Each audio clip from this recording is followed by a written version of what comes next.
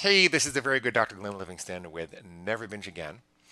And I'm here with Michael Norman, who is an expert on panic and anxiety. And what I want to tell you is I brought Michael on the call so that we could address panic and anxiety because so many binge eaters tell me that excess food, overeating, e.g., pig slop, is the only thing which seems to take them away from their panic and anxiety, and I actually think it makes the problem worse. And so I connected with Michael through a good friend that I trust, and I wanted to have a discussion with him. One thing I want you to know that in this context, we can't offer to diagnose, treat, or cure any disease, disorder, or condition that's independent of any licenses that either of us might have. And with that, so we're offering this as training education only, just information that should be helpful to you. And then you can decide and discuss it with your doctor. With that, cover my cover your disclaimer in place, I would like to introduce you to Michael. Michael, how are you today? I'm great. Thanks, Glenn. How are you? I'm very good. Michael's actually a former research scientist turned paid on results anxiety specialist. He's got clients from 103 countries all around the world. He's got his own internet TV station where he shares the latest scientific research tools and strategies to help end your panic attacks for good. Hey, Michael, could we just start with some definitions? And I know that your definition is somewhat different than the DSM 5 definition of a panic attack. Talk to me. Yeah, so instead of giving the standard definition, which is a valid definition, but probably isn't as useful as I think it could be, I would like to give a little bit of a different one. And that is, is that what a panic attack really is, is it's just our brain making a very innocent, very well intended, overprotective mistake. It's a mistake that, from a scientific point of view, is most accurately thought of as a false alarm. A false alarm of what in popular culture might be called our brain's fear system. So it's our brain mistakenly trying to protect us from a danger that's not there. Now, Glenn, would you like me to share a little analogy that I think could explain this a lot more fully? No, of course I would.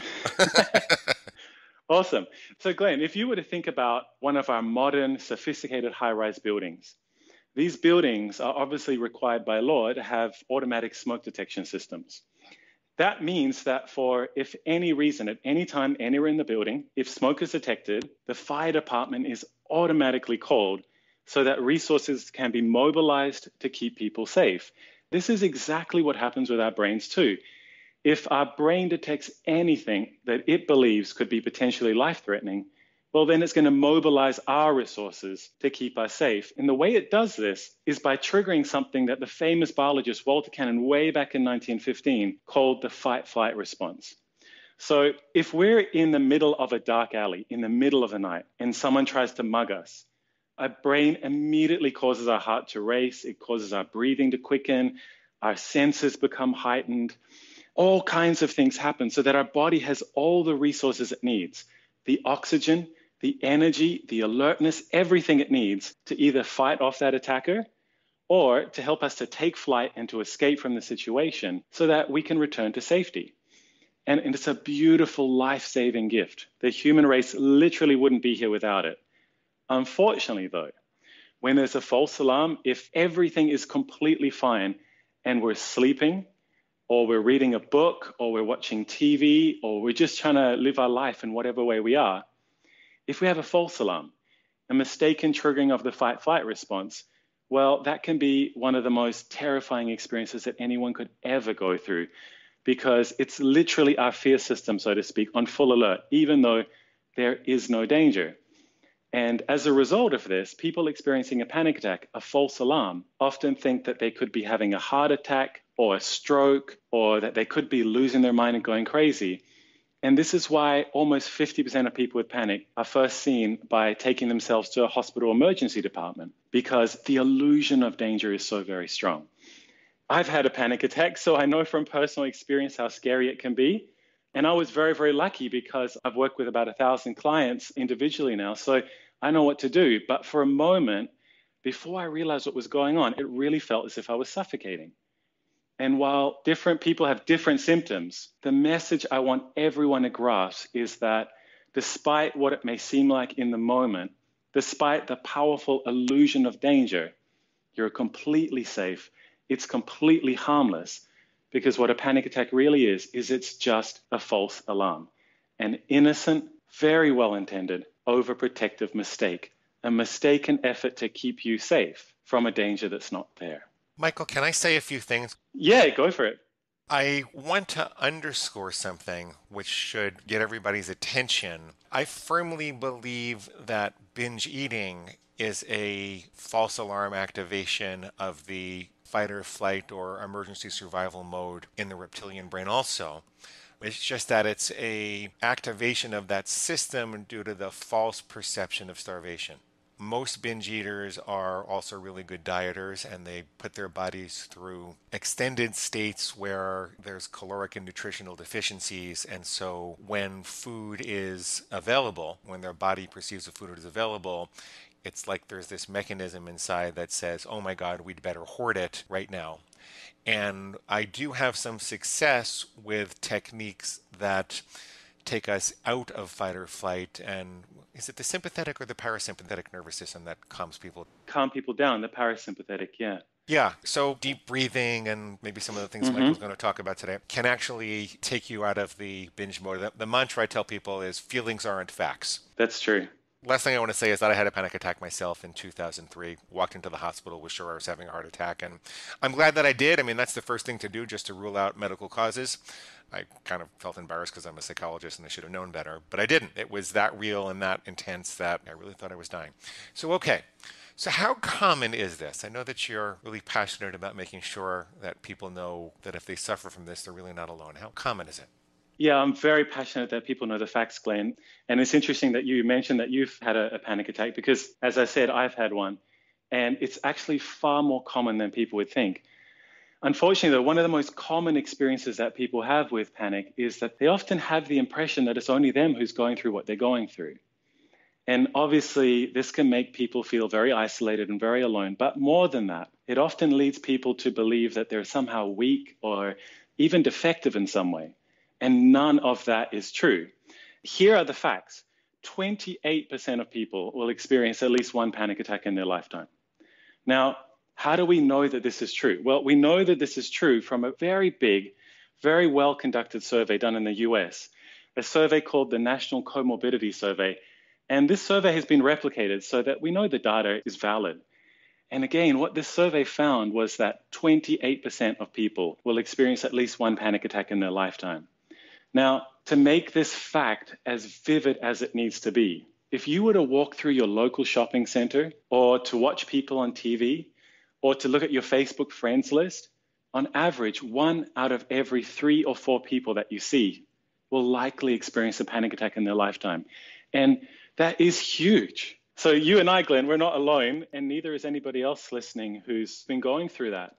You know, if we were to even narrow things down further, if we were to only consider people who had serious ongoing problems with frequent panic attacks, something that's often labeled as panic disorder, well, almost one in 20 people will meet the criteria for panic disorder sometime in their lifetime. To make this fact as vivid as it needs to be, because I really want people to grasp this, if we were to just consider the US, only the US, and if we were to take everybody in the US who would meet the criteria for panic disorder sometime in their lifetime, and if we were to put them into one city, that city would be bigger than New York, Los Angeles, and Chicago combined. The three biggest cities. It's huge, isn't it? Wow would be um, kind of a scary place to be at the same time. but the key here, for anyone listening who's ever felt alone or weak or ashamed because they've had panic attacks, it's a very common experience. But I want them to know that there's just no need for that anymore because they are definitely not alone. And if you've had panic attacks, you're not weak either. So if you've ever believed that, you can just like let go of that old belief right now because even the strongest, bravest people get panic attacks. And I see this every day. I've had amazing clients you'd least expect clients who are either incredibly intelligent or incredibly successful, resourceful, accomplished people, doctors, psychologists, lawyers, judges, CEOs of big companies, celebrities get panic attacks too. And of course, so do everyday people. I've had a false alarm, as I've said before, because panic is a far more common part of the human experience than most people would ever realize. But why? This is a really important thing to consider. Why is it so common? And the most scientifically backed explanation is what uh, Professor Randolph Nesse from Arizona State University has called the smoke detector principle. And the best way to explain this is for us to do a quick little thought experiment. So, Glenn, if you could only have one of two types of smoke alarms to keep you safe in your home, which would you choose? The first type of smoke detector would be a smoke detector that's undersensitive. In other words, it will sometimes fail to go off even if there's a deadly fire in your house. That you could be sleeping and a fire could start in your home, and that smoke detector, because it's undersensitive, would fail to go off. That's choice number one. Not very appealing, right? Right. so the second type of smoke detector would be a smoke detector that's on the other end of the continuum, that it's a little oversensitive. In other words, it's never going to miss a real fire. It will always alert you the moment that there would be any real danger. But the downside is, is that sometimes it might give you false alarms. That sometimes it would go off if you would burn the toast, even though there is no danger and everything's completely fine. Now, I realize that obviously we'd all prefer to have a perfect smoke alarm system, one that never makes any mistakes. But the reality is, is that we live in a complex and often ambiguous world. And even with the best technology, even with something as simple as just detecting smoke, no alarm system is always going to be perfect. So, out of these two choices, like an undersensitive smoke alarm that could miss a real fire and kill you, or an oversensitive smoke alarm that occasionally has unpleasant, noisy false alarms, but never misses a real fire and always keeps you safe, which would you choose? So it's really clear from what you're saying that any particular testing mechanism is going to have either false negatives or false positives. And the survival value of an alarm that produces false positives is much greater than the one that produces too many false negatives. That's exactly right. Because the cost of missing real danger is huge. And the cost of a false alarm, as unpleasant as it may feel, in terms of our survival, it's pretty small. The false alarm is harmless. So, having a false alarm in terms of our survival is the best approach instead of having the potential of missing real danger that could kill us. Even if it makes you miserable. Yeah, because unfortunately, evolution, we didn't evolve so that we're happy. We evolved so that we would stay alive and reproduce and all that. So then you talk about something called the panic pattern. What is that, and how to explain that strange and confusing experience that people that have panic attacks actually go through? I really do think it's very useful to think about the kinds of false alarms that we've been talking about as having a core hidden pattern that I call the panic pattern. And to explain this fully, I think it's very important that I first mention an underappreciated fact. And that is, is that emotional responses take place both in our brain and in our body. That every emotional response is a sophisticated, coordinated symphony, a dynamic interaction that involves both our brain and our body. Now, why does this happen? Well, it happens because emotion evolved to bias and to influence actions that we take with our body. Emotion evolved to shape the behaviors that we engage in, whether that's in relation to other people around us or whether that's just in relation to the world. And so every emotional response takes place both in the brain and in the body. Now, why is this so important to know about? Well, it's important because since anxiety involves both our brain and our body working together, anxiety often comes with certain kinds of body sensations. And this is even more true with something as intense as a fight flight response. Because again, the fight flight response is our brain directing our body to mobilize bodily resources in the very same way that an automatic smoke detector system notifies the fire department to keep us safe. If somebody has a fight flight response, their heart rate will increase, their breathing will quicken, Again, their senses will become heightened and all kinds of other things that are directly related to keeping us safe. Now, how does this relate to the panic pattern? Well, since anxiety can create body sensations, what would happen if our brain were to mistakenly learn to fear some of those sensations? What would happen, to use the metaphor we've been using, if our brain mistook burning toast for being a real fire? Well, that is the key ingredient required for ongoing problems with frequent panic attacks. Frequent panic attacks happen when anxiety creates body sensations. And because our brain has mistakenly learned to fear those body sensations, that creates even more anxiety. And then that increased anxiety then creates even more body sensations, and a harmless but scary vicious cycle ensues. And it can escalate into a full fight flight response. So it's a loop. Anxiety creates body sensations. And if we fear those body sensations, those body sensations create even more anxiety and it can loop around until it gets to a full fight flight response. Does that make sense, Glenn? Oh, yeah. It's a vicious snowball that rolls downhill. Exactly. If anybody listening wanted a more concrete example, if they were to consider that since anxiety makes everyone's heartbeat a little bit faster, if something in our life were to make us fearful or anxious enough, naturally our heart will speed up. Again, this is completely natural and completely healthy. It's an important response we have that keeps us safe. However, if somebody's scared of a faster heartbeat, then if they get anxious enough for whatever reason, well, that could trigger the panic pattern. That anxiety would make their heartbeat faster and a faster heartbeat would make them more anxious, which would further increase their heart rate. And again, a harmless but scary vicious cycle would ensue. And this is the core hidden pattern behind most of the false alarms that we've been talking about. And it can happen no matter what kind of body sensation that people are scared of, as long as that body sensation can be created by anxiety. Michael, is that where hyperventilation comes in, or what role does the hyperventilation play in the panic symptoms? So, hyperventilation is just another word for overbreathing, breathing more than we need to. And as we talked about earlier, in the face of real imminent danger, like if we're alone in the middle of the dark alley and that mugger comes by, well, our muscles need a lot of oxygen to help us to either escape or to fight back.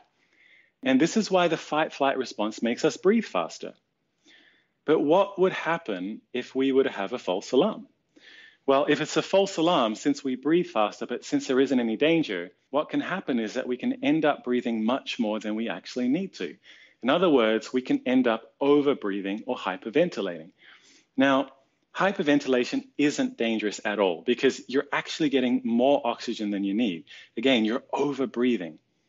There is, however, one little quirk that, thanks to the way our respiratory system works, it means that when we overbreathe, when we hyperventilate, it can temporarily change the pH of our blood so that our blood becomes just a fraction more alkaline. Now, we don't need to go into any of the biochemistry. All you need to know is that this temporary change in blood pH is totally safe. Your body has all kinds of buffer systems to make sure that your pH will always stay within a healthy range. However, as safe as you really are, there can be some temporary harmless side effects. This is why people can get things like pins and needles in their arms and legs. They might feel dizzy, their muscles might cramp. It can seem as if it's hard to breathe, even though, in fact, they're actually over breathing. And there's a range of other sensations that can result. But again, it's all completely harmless. And this is the take home truth that I want everyone to grasp. And that's why people think that they're having a heart attack. Well, there's a few reasons for that. One of the things that can happen with chest pain, sometimes people get chest pain, and that it's actually not your heart muscle if it's a false alarm. What it actually is, most of the time, is that when people are hyperventilating, they're breathing so hard high up in their chest that the intercostal muscles, which are the muscles in between the ribs, the muscles in the rib cage, they're actually working, doing a job that they don't normally do, and that can cause some temporary pain. And so it can feel like it could be chest pain from your heart, but it's actually from your rib cage. Now, as Glenn said before, obviously, if anybody has started having panic attacks, then it's good to get one medical checkup just to be sure. But once you've got that medical checkup and, and you know that you're completely fine, then you can rest assured if you feel chest pain that it's just from those intercostal muscles, that it's got nothing to do with the heart. Gotcha. All of this becomes a kind of conditioning loop, doesn't it? What does conditioning have to do with it? For people who are not quite sure what conditioning is, at the beginning of the 20th century, there was a very famous Russian scientist who made one of the biggest discoveries in modern psychology and in physiology, too. His name may ring a bell to use a very old joke because I'm talking about Ivan Pavlov. Can I please have the last five seconds of my life back? Go ahead, I'm sorry. Sure, I'll send you a check. Right. Um, So, what Pavlov discovered, for those who don't know, is that when he was feeding his dogs, he discovered that whatever happened to be associated with the food when he brought the food out to the dogs soon became associated with the food exactly as if it was food. In other words, that it started to trigger the dogs to salivate even though there was no food. Now, anyone who's ever had a pet knows all about this. If you have a certain bowl that you use to feed your cat or your dog, well, you know that they know exactly what that bowl means. It means food. And this is exactly the process that Pavlov discovered. A process that, as Glenn's mentioned, is called conditioning. It's more specifically Pavlovian conditioning. And one of the things that people often don't quite appreciate, and this is really important, is that conditioning works even better with us than it does with animals. And it works great with animals too, but we have actually more sophisticated mechanisms. If you feel your emotions suddenly shift and you don't know why, whether it's a great feeling or whether it's a less than great feeling, you can bet there was a trigger outside your awareness, a trigger that in the past had been associated with whatever it now makes you feel. And this is why the smell of an ex lover's perfume can automatically trigger long lost feelings inside us. It's why an old song can bring back old forgotten memories. And it's also why harmless body sensations or certain situations and places can become mistakenly associated with anxiety. Now, would it be useful if I give a few examples of this, Glenn? I think this could really help people. Of course. There are a few ways that conditioning occur. One way, for example, is just through the mistaken association that results from bad luck, through the unfortunate pairing in time of space of two stimuli. For example, if someone has had a false alarm in a certain restaurant, then they're probably not going to want to go back to that restaurant very quickly because that restaurant has become associated with anxiety. Conditioning can also occur through watching other people, through something that's called observational conditioning. And I've had clients who've unfortunately seen someone else have a heart attack, or I've had clients who just saw something on TV, or even just heard about something, or even just read about it. And as a result, their brain started to mistake any increase in a heart rate as being potentially dangerous. There are all kinds of ways that conditioning can happen. Now, the good news, the really good news about this all is that if somebody can learn an unhelpful conditioned response, if somebody can learn to feel afraid about certain body sensations, then they've just learned this through conditioning. Well, since they're good at learning new associations, as we all are, it means we can use the very same process to help you learn something much more useful instead. And a very basic example of this is something that we've already kind of started since the beginning of this conversation. And that is, is by using the much more accurate and useful terms false alarm and overprotective mistake, that we've begun to start to use something called instructed conditioning, where words can change associations that if people start to think and talk to themselves about these things that they used to refer to as panic attacks, but instead now referring as false alarms, well, what they might discover is that it, it, opens up different associations in relation to what they've been going through. And that this is just a very small example of how we can begin to shift the meaning, to shift the automatic unconscious associations that have been driving the false alarms that you've had in the past. Very good. Well, that's exciting. I know that you sent me a note before the call that there was some surprising research finding that totally changed the way that people should think about unexpected or out of the blue attacks. Yes. So, out of the blue panic attacks owe their name to the fact that they seem to come out of the blue. They seem to have no triggers. However, we actually know that this is not true. We actually know that even out of the blue or unexpected false alarms, that these have triggers. And here's how we know this. So Alicia Meuret is a researcher in Texas, and what Alicia and her team did was they took a group of people with panic attacks with false alarms, and for the first time ever with false alarms, they hooked them up to portable 24 hour monitoring devices so that these people could go back home, live their everyday life, while a range of physiological variables relating to their breathing and their heart were monitored. And participants were also given a button to press. They were given this button so that if they had a false alarm, they could press that button and it would register a time point in the data so that Alicia and her team knew exactly when that false alarm had occurred. Now, what this allowed the team to do was to look at when they had a false alarm, to investigate the natural physiological data preceding and surrounding that false alarm, so that the team could see what exactly happens inside people's bodies when they have a so called out of the blue false alarm. And what they discovered was very surprising. What they discovered was that there are changes, at least in the sample that they used, up to 47 minutes before anyone pushed their button.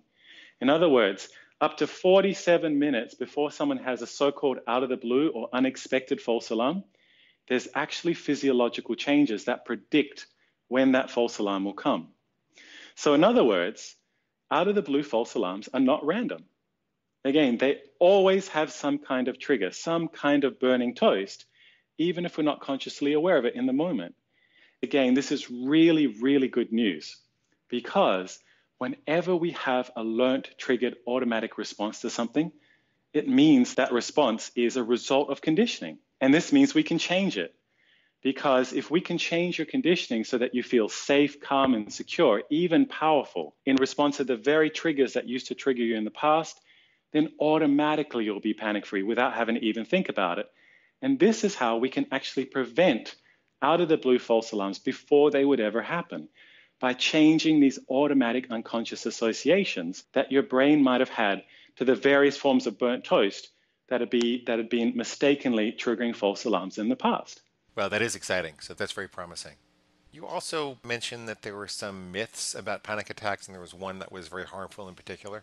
Yes. So there are a lot of myths about panic and anxiety, but if I was to choose the most harmful one, it would probably be the chemical imbalance myth. So, for anybody listening who's not sure what this myth is, it's a myth that anxiety, depression, and false alarms are caused by a chemical imbalance in the brain. The problem, though, is that not only is there no evidence at all for this myth, as a scientific hypothesis, it's completely dead. And in the field of neuroscience, this hypothesis has been forgotten. It's not even considered anymore. However, thanks to billions of dollars of marketing investment by drug companies, well, the chemical imbalance myth has been perpetuated for their own profit. Now, what's the evidence against this myth? Like, what is the actual evidence to back up what I'm saying? Now, that's a pretty long discussion that would take us way off track. But for anybody who's interested, I'd like to refer you straight to the source, to the most respected, most cited researcher in the world on this topic, a man who actually did the research, and his name is Irving Kirsch, and he's currently at Harvard University. Now, Harvard is obviously as mainstream as you can get. This is mainstream science that we're talking about.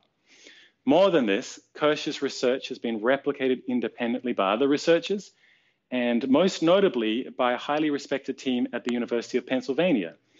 So, for anyone who's been led to believe that they have a mysterious chemical imbalance, and if they want to know the real truth and the actual science, Irving Kirsch has a very accessible book written for the general public, and it's called The Emperor's New Drugs, and I highly recommend that people read it. Now, why do I believe that the chemical imbalance myth is so harmful? Well, Brett Deacon is a really fantastic researcher at the University of Newcastle in Australia. And he's done some very important research into this. He showed that when people are given a bogus story that they have a chemical imbalance, that they become much more pessimistic and depressed about their chances of recovery. Of course. On top of this, they also come to the false but very understandable belief that they would need drugs to get better, that drugs would be more effective than psychological help, and the research clearly shows that this is not true either. That psychological help works better than drugs for false alarms. And we know this from research done by the most famous anxiety researcher of the last 30 years, a man called David Barlow. Now, what Barlow found was that when people with false alarms were given either psychological help or drugs, or a combination of psychological help plus drugs, the people who just got the psychological help alone did the best in the long term. Wait, wait, wait. So the drugs made them do worse? Yes. In the long term, people who got even a combination of drugs plus psychological help did worse. Psychological help alone was the best group. Wow. I didn't know that. Yeah. And it really comes back to the fact that the leading theory on this is that the drugs interfere with our brain learning that it's just making an innocent overprotective mistake, that the brain finds it harder to realize that the conditioned responses that it's been having are not needed, that they're just a mistake. So, Michael, um, this is shocking to me. not how I was educated to believe a long time ago. But I believe you. You have all the research behind you. If anybody wants to look it up, David Barlow is probably the most respected anxiety researcher of the last 30 years. And he's the one who did this trial. Oh, I believe you. So, if that's the case, I would imagine you don't recommend people just immediately stop taking their anxiety medication. Absolutely not. So, the kinds of medication that are prescribed for anxiety and for false alarms, these kind of drugs come with potentially significant and serious withdrawal effects. There was actually just recently, a few days ago, in the New York Times, I believe, there was a big article on this saying that these withdrawal effects have been dramatically underappreciated by doctors in mainstream circles. So, if anyone was thinking about just stopping their drugs, don't do that. It's a really important decision that you need to have with your doctor, your doctor's full advice and guidance. And if your doctor agrees that you should come off your medication, then you want your doctor's help every step along the way to come off of it slowly and correctly. And there are actually protocols to help people do this so that people have the best experience while they're coming off their drugs. And again, it's up to your doctor and you. I'm not going to tell anybody to stop taking their, their medication you could take this research to your doctor and tell them that you're very motivated to get off the medication because of it, and then have a discussion and a dialogue and decide accordingly. You could even work with another doctor if you really wanted to, but the point is, you really do need medical help to get off the medications in a particular way at a particular time. That's right. And again, if people want to go to their doctor fully informed, then reading Irving Kirsch's book, again, it's The Emperor's New Drugs, is a really good start. And he also has videos on YouTube where he's giving lectures and if you just search for Irving Kirsch, you'll find a lot of, of information from him. Great, terrific, terrific. I know there are an awful lot of other mistakes that really smart people are making to maintain or worsen their problems with panic, but what can they do instead? What are they and what can they do? I often like to point out to people that there's only one reason that anybody has serious ongoing problems with false alarms. And that reason is simply that panic is deeply counterintuitive. What seems as if it should work doesn't, and what does work tends to fly in the face of common sense. There are three main categories of intuitive mistakes that even the most intelligent people engage in that unfortunately prevent our brain from discovering that it's just been making a very innocent, very well intended, overprotective mistake. So, the first counterintuitive mistake that even the most intelligent people make with panic, and this is a big example of how common sense tends to backfire, is that people try to fight against, control, or to suppress false alarms. And to explain this as vividly as it needs to be explained, I'd love everyone to try a fun little mental challenge with me. I'd like everyone to just put aside whatever you're doing if you can and just really focus in right now so that as you're focusing, you realize that you only have one task.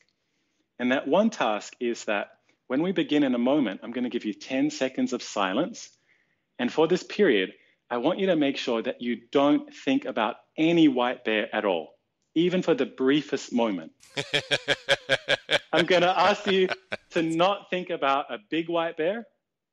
I'm going to ask you to not think about cute little baby white bears. Stop it. yeah, I'm going to ask you to not think about any white bear at all for 10 seconds. You ready for this challenge? No, no, it's impossible. Let's do it, eh? Okay. All right, so your time starts now. No, I get it. I get it. So for people listening, if they want to try this, what they'll discover is that that trying to not think about white bears makes it much more likely that you will, that it's a strategy that guarantees failure. And this white bear experiment comes from the late Daniel Wegner, who was professor of psychology at Harvard University. And what Wegner found was that when he asked people to not think about any white bears at all for five minutes, that obviously they couldn't do that. They couldn't suppress thoughts of white bears. But what was very surprising, though, was that even after the experiment was over, even when people could think about whatever they wanted, they ended up thinking about white bears much more than they would have normally. So, in other words, the very act of trying to suppress a thought actually made that thought stronger, more resilient, and more enduring, even after the experiment was over. Michael, my dad has this joke. He says, I want you to try not to think of the number 825. Tell me when you forgot the number. he told me that joke 30 years ago, and I still remember the number. It drives me crazy. Well, it's a good memory strategy for people, isn't it, if they're taking a test? yeah. Okay. So, why does this white bear effect happen? Why does the white bear effect exist? Well, it exists because in order for us to make sure that we're not thinking about something, some part of our brain has to think about it, which ironically keeps the thought alive. And this is especially true when we're stressed or anxious. That when we're stressed or anxious, trying to suppress a thought is actually harder than normal. And so by trying not to think about something, it makes it much more likely that we will. Now, how does this relate directly to false alarms? Well, since a false alarm is nothing more than a mistaken triggering of the fight flight response, one of the most natural tendencies that anybody would have is to try and fight back. And unfortunately, though, because of the white bear effect, when we try to suppress anxious thoughts, when we try to fight them, it tends to backfire. And this is also true for body sensations.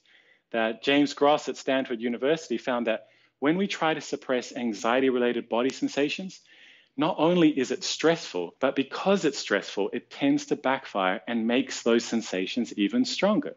So, this is the first big mistake trying to fight, suppress, or control a false alarm. Because when we do that, it tends to backfire and it tends to make the situation worse, not better. So, the second deeply counterintuitive mistake that even the most intelligent people make with panic. And again, this is also something that flies in the face of common sense. And in fact, I think to explain it, a little story might really help. So, Glenn, one day I was out walking and I walked past a very cute little dog who happened to be wearing a muzzle. And my first response really surprised me. My first response was, Get away from it. That dog must be dangerous. And it got me thinking, like, how could a muzzle, which objectively makes a dog safer, subjectively make me feel so much more threatened? And what I realized was, was that my brain went through an unconscious calculation, something like this. My brain went, well, if this dog needs a muzzle, then it's probably a pretty aggressive, nasty dog. I mean, why else would this tiny little dog need to wear a muzzle when all the big dogs around it weren't?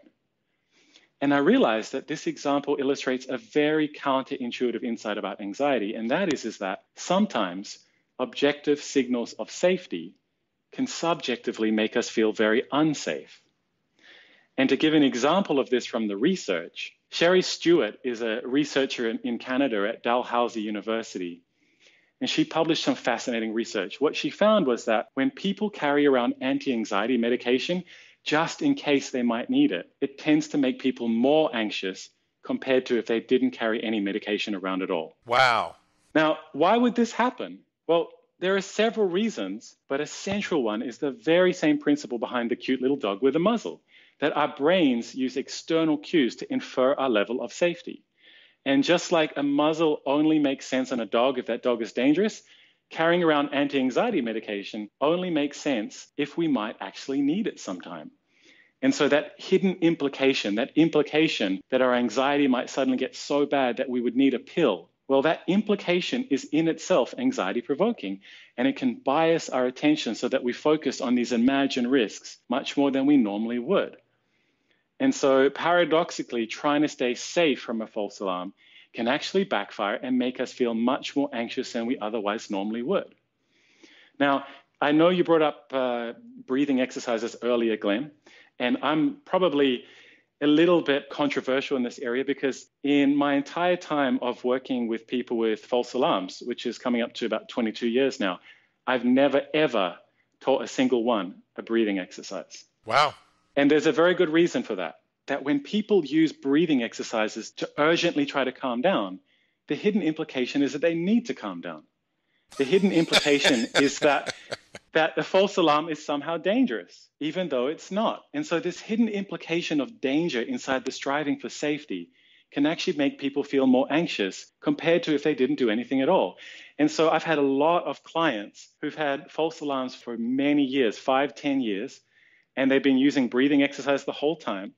And one of the key things that changes it for them is when they stop using the breathing exercises because they discover that the breathing exercises actually aren't protecting them. Because the illusion is they go, Well, I would have been in such terrible danger. I would have had a heart attack. I would have gone crazy. I would have lost control if I hadn't used that breathing exercise. And when they discover that they can drop the breathing exercise and those feared outcomes don't even happen, well, what happens is, is their brain begins to realize that there isn't any danger at all that it was just a mistake.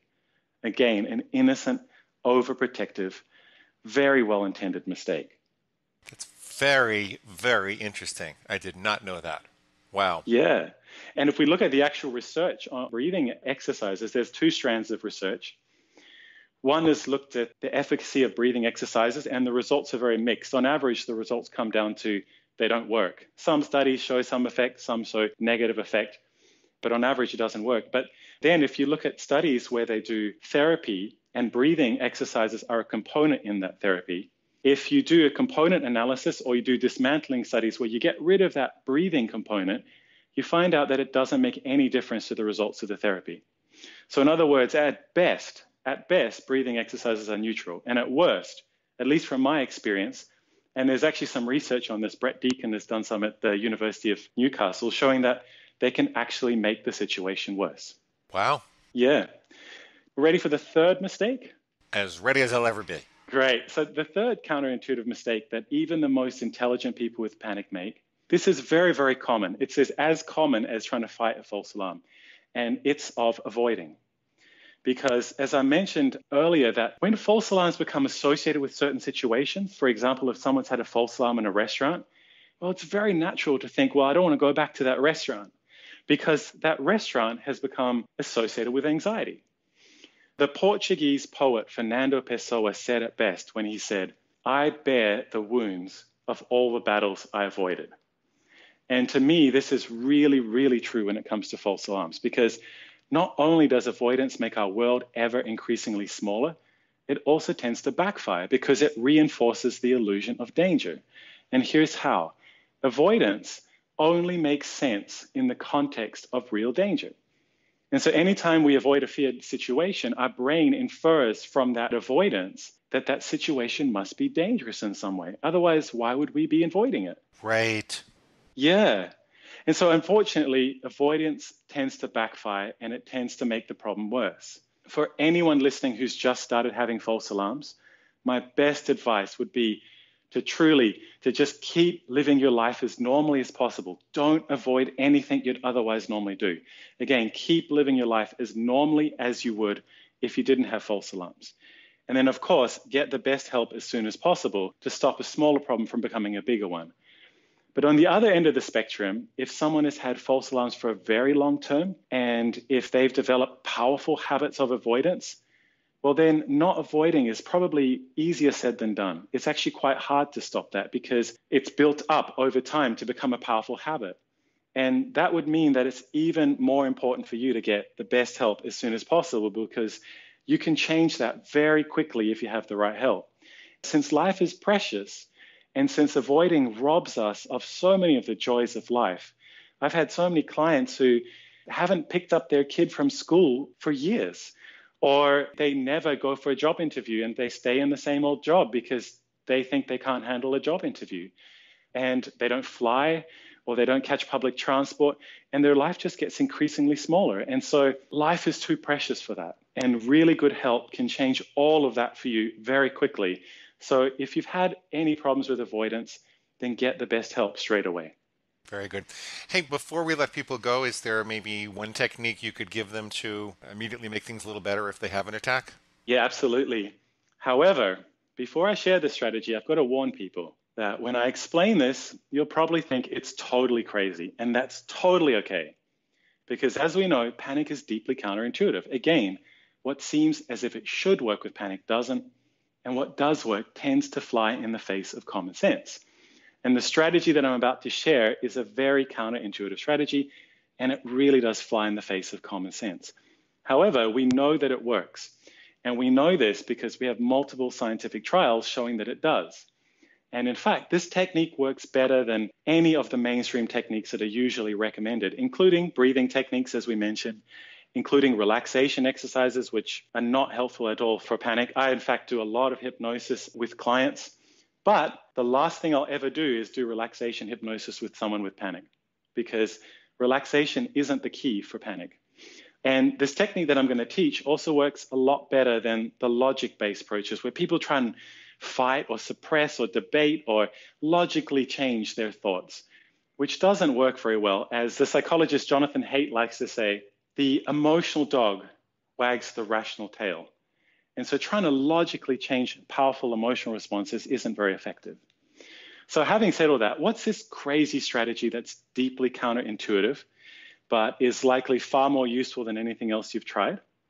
It's using a paradoxical approach where if you get a false alarm, instead of trying to fight it, you voluntarily try to make it stronger and last longer you voluntarily try to have the biggest, longest lasting false alarm that you've ever had. Now, how could such a crazy approach ever work? Well, there are several reasons beyond the scope of our discussion, but to give just one reason here, I'd like you to consider this. Have you ever tried to force yourself to fall asleep, but as a result, you found yourself being more awake? Of course. Yeah. Have you ever been like Glenn and tried to forget something so hard, but as a result, you ended up thinking about it even more? Or have you ever tried to force yourself to become attracted to someone that you didn't have any feelings for? And as a consequence of trying to force yourself to become attracted to them, you became even more aware that that person wasn't right for you. If you've ever had any of these experiences, then you might appreciate that when we try to force an involuntary, automatic, mental or emotional process, sometimes all that effort can backfire and it can actually inhibit that very process. And this is something that we can use to our advantage with panic. And it's why if I first meet a new client, if they're having false alarms because they had to leave their comfort zone just to talk to me, I never ask them to relax. Instead, very often, I ask them to voluntarily make the false alarm a lot bigger. I ask them to voluntarily give me the biggest, longest lasting false alarm they've ever had. And what happens universally is they can't. Paradoxically, it relaxes them. Now, paradoxical approaches like this is not something that I invented. Goes back way back in time to some of the greatest therapists of all time. People like Alfred Adler, Viktor Frankl, Milton Erickson, as back as 100 years ago, as far back as 100 years ago. And each of these amazing therapists, each independently discovered that instead of trying to fight with a problem, often you can get far better results by paradoxically trying to encourage it. And with panic, it's very, very true. So, again, to sum up this strategy, if you get a false alarm, instead of trying to fight it, voluntarily try as hard as you can to force it, trying with all your willpower to compel it to become the biggest, longest lasting false alarm you've ever had as quickly as possible. So, is there anything else that you want to be sure people know about false alarms before we wind down for today? I think there is something that's a very underappreciated fact that is very important for anybody who's been suffering with false alarms to know about. To explain it, I think another story would help. I had a lady who went through my online panic free program because she had panic attacks when she tried to drive or catch public transport or to fly. And since these are very typical problems that people with false alarms often face, ending them is actually very standard. However, she had a much bigger dream. Her dream was to go on the hit TV show Britain's Got Talent. Now, I don't know if you have ever watched this program, Glenn, but as many people might know, Britain's Got Talent is headed up by Simon Cowell. And he is infamous for being insulting, dismissive, even pretty nasty to anybody who doesn't live up to his standards. Know it really well. Yeah. I don't know the exact details of what this lady's personal act was since she wasn't a one on one client. What I do know is that it was something a little bit different, something that you could probably predict that Simon wouldn't like. And so it took a lot of courage for her to even put herself out there like she did. Well, Simon apparently didn't like her act, and he and 2,000 people booed her off stage in front of a TV audience of potentially millions of people. And what really impressed me about her was that she sent me an email after all this happened. And she said that thanks to the strategies that she needed to learn to end her panic attacks, that she was able to stand up and, in her own words, to face the onslaught with no loss of confidence. And for many people, that kind of public humiliation might crush them. She maintained her rock solid confidence. And this was a lady who had struggled to even catch public transport in the past.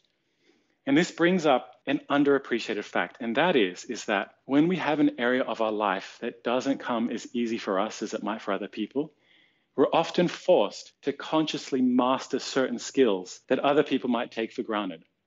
And in the process, because we master these skills, we can actually end up being far better off than other people who never had to even think about it. I want everyone to know that if they've been struggling with false alarms, that even if it might not have seemed like it in the past, that you actually have a real opportunity, not just to end a problem, but to instead to become much more of who it is that you can really be through this experience, as long as you do whatever you need to do to learn the skills that you need to learn. I love that. Michael, the last thing I want to ask you, I'm not sure if it totally fits here, but I understand there was a time that you were told you'd never walk again, which turned out not to be the case. In about 2010, I started having troubles walking. And for about four years, I couldn't walk more than about 10 to 20 meters at a time. And I was getting continually weaker until I couldn't walk at all. And I was in a wheelchair for a year, and two doctors and a physical therapist told me I'd never walk again. It was a very, very strange situation because the most common response I heard from doctors about why it was all happening was, You're a very interesting case. For people who don't know, that's really medical speak for we have no clue what's going on. So it was a very strange situation, but I was massively determined and uh, there was no way I was ever going to give up. But unfortunately, I was still getting worse. And more than that, I'd become so weak that each time I tried to push myself to walk a little bit more, I ended up getting hurt. And each time I would get hurt, I'd pull a muscle or I'd strain something, it would put me back between a week and a month to get back to baseline. And I failed over and over and over again. I wasn't going to give up though. And then one day, I got very, very lucky. I got recommended to a small private hospital and luckily for me, one of the staff turned out to be just a truly world class therapist, a physical therapist who knew how to do her job immaculately. She was just a real professional. She's one of these people that when you meet them, you can just tell, like, this person's different. Like, this person is a real expert. You can sense that you're with someone who's really mastered their craft. And I knew that when you find somebody like this, you make the most of them. And so thankfully, I did. And through working with her, and following her advice and being really determined and doing everything I could on my part, her skill plus my determination totally changed my life. And as a result of that, today I can walk. I'm essentially 100% normal. I train in the gym five or six days a week. And as long as the weather's okay, I walk everywhere instead of driving my car. It was the combination of just this massive tenacity, but more importantly, having somebody world class just totally changed everything for me. And the reason that it turned out that I was having problems with walking only became apparent after I was already walking. And I went in for an MRI. Turns out that I have multiple sclerosis, and that's the whole reason why I couldn't walk. Everyone, including me, knew that when my problems began that it could have been a likely cause.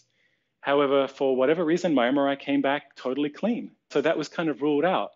But my mother has MS. She's uh, an amazing woman. She has very severe MS. She's paralyzed from the neck down, so she can't move her feet or her hands. And as it turned out, I do too. And uh, I'm just so incredibly lucky that I found the right person to help me walk again. And then now I'm, I'm just so blessed to be on the best drugs, thanks to both the Australian and the Japanese government, since I live in Japan now. It's really given me such a, an even greater passion to really make a real difference with people because you know, if somebody's had false alarms, it's a really horrible thing to go through. And it's very difficult to find the right help because having a lot of determination will make a massive difference in your life, but only if you also get the right help, that you have the right strategies. And so I hope in this call that it's been really obvious to everybody that uh, what we've covered has been helpful. And I really appreciate you, Glenn, for having me on. And thank you so much for the chat. Oh, I think this could be life changing for so many people. I hope so. Yes. So, Michael, just before we leave, is there, I know there is a set of products and services that you have available for people who would like to work with somewhere world class, and you're not supposed to say that about yourself, but I can say that about you. And I know that you've put a lot of time and energy into producing solutions. So, talk to me. Yeah, so I have a range of resources for people. I have a foundation series that people can go through for free that goes into everything that we've been talking about in a lot more detail. And if anybody is listening has been suffering from panic attacks and from false alarms, that this is really the first place that you should go. That it will teach you in a lot more depth than we've been able to cover here today, everything that you need to know to begin to start your process back to a panic free life. And then, of course, I have a program that people can get instant access to online that goes even further. And it actually comes with one on one email access to me, private one on one email access to me, so that if people have any questions or if their situation is a little bit different, they can get my input on that. And then, of course, my passion is working one on one with people. I offer Skype or, or real world one on one, and all my work is paid on results, which means that if you don't get positive, uh, wonderful changes that make an automatic positive difference in your life, you don't pay. And it's the way I've worked for 22 years, and it's the way I'll always work because it fits for me and I really believe in it. All your products and services are refundable? That's true, including my 101. Wow. The other thing for people is that I have a deep hypnosis session that is also free that people can listen to that a lot of people have said has made a real difference to them for just generalized anxiety or for worry or for stress. And so while it's not entirely designed specifically for panic, for anybody who's got any other kind of anxiety, just general worry or stress, that's perfect for you too. So, yeah. I love it. Okay, so we'll tell them how to get that in just a minute. I just want to thank you for your time and your expertise and for so freely sharing what you have to offer. I really hope this helps thousands and thousands of people, and I wish you all the best. Thank you, Michael. Thank you so much, Glenn.